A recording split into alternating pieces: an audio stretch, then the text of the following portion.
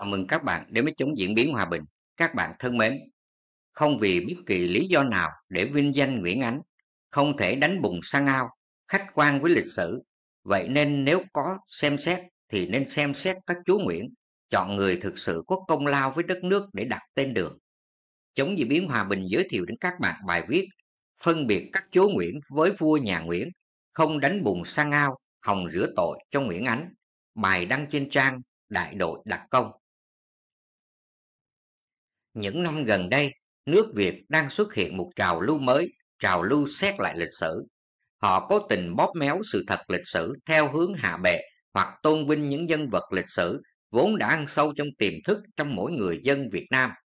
Khi nói đến Nguyễn Ánh, tức vua Gia Long của Triều Nguyễn, thì người ta nghĩ ngay đến một tên cổng rắn cắn gà nhà, rước voi về giày mã tổ. Ấy vậy mà, không hiểu tại sao lại có những kẻ nhân danh là nhà sử học, học hàm học vị cũng đến mức tột đỉnh của vinh quang, lại cố tình phá hoại lịch sử, cố tình rửa mặt cho Nguyễn Ánh và cả Vương Triều Nguyễn, một vương triều đồi bại nhất trong lịch sử Việt ta.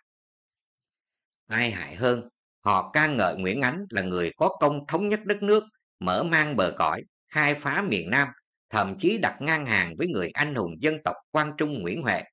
Hiện nay, người ta còn đòi vinh danh Nguyễn Ánh, đòi đặt tên đường ông ta xin có đôi lời như sau. Phân biệt chúa Nguyễn và vua Nguyễn. Những người được coi là nhà sử học, nhà nghiên cứu lịch sử há lại không phân biệt được giữa các chúa Nguyễn và nhà Nguyễn.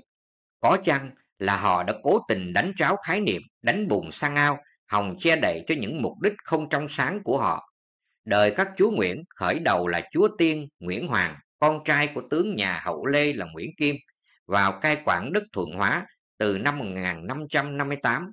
Nguyễn Hoàng vì sợ Trịnh Kiểm, anh rể, sát hại nên sau khi nghe lời khuyên của trạng trình Nguyễn Bỉnh Khiêm, Hoành Sơn nhất đái, vạn đại dung thân, nghĩa là một dãy núi ngang có thể dung thân muôn đời.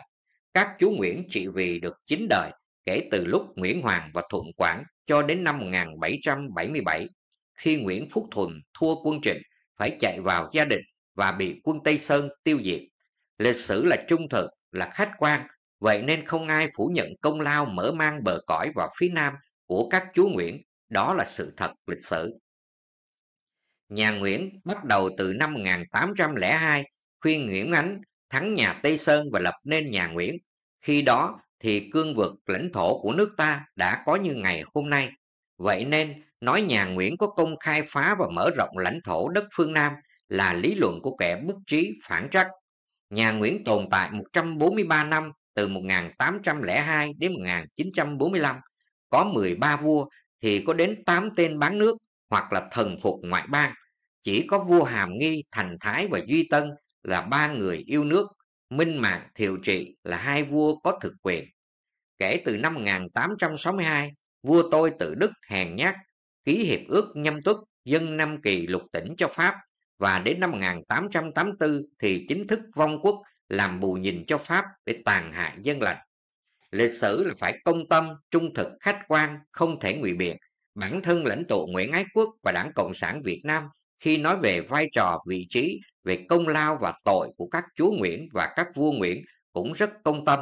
Quan điểm của lãnh tụ Nguyễn Ái Quốc Hồ Chí Minh đối với lịch sử là rất sòng phẳng, phân minh. Người không hề công kích các chúa Nguyễn cùng với việc kịch liệt phê phán các vua, Gia Long đã nhường cho Pháp cửa biển Đà Nẵng và đảo Côn Lôn, cầu viện quân Sim đánh nước ta, tiếp tế cho quân Thanh.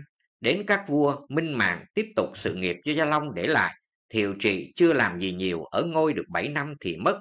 Đến các vua, Từ Đức, Dục Đức, Hiệp Hòa, Kiến Phúc, Đồng Khánh, Khải Định và Bảo Đại đã hoàn toàn bắn nước ta cho Pháp.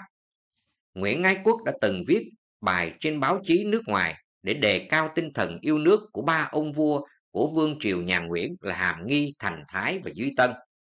Vậy nên không vì bất kỳ lý do nào để vinh danh Nguyễn Ánh không thể đánh bùng sang ao, khách quan với lịch sử. Vậy nên nếu có xem xét thì nên xem xét các chúa Nguyễn, chọn người thực sự có công lao với đất nước để đặt tên đường.